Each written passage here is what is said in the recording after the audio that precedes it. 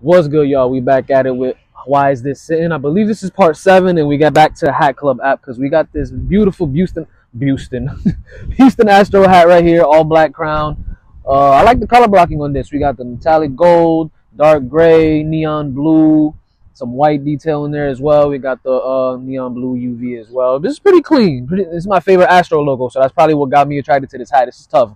Go hit hit up the app and cop up.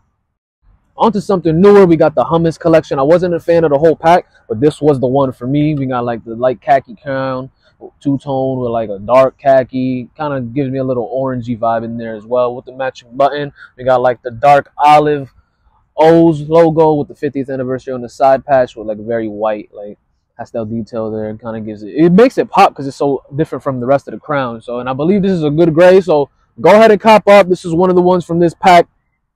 And yeah, this is smooth. Kind of gives me, reminds me of Olive Garden as well.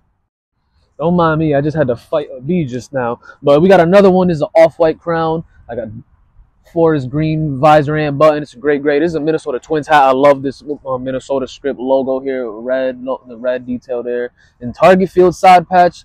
10 years there. I'm assuming that's the 10th anniversary of that field. It's a dope patch. I like the shape of it. Red, green with the metallic uh, gold there as well. Very dope. You should go ahead and pick this up. Sitting on the site and on the app. Do right. Don't do bad.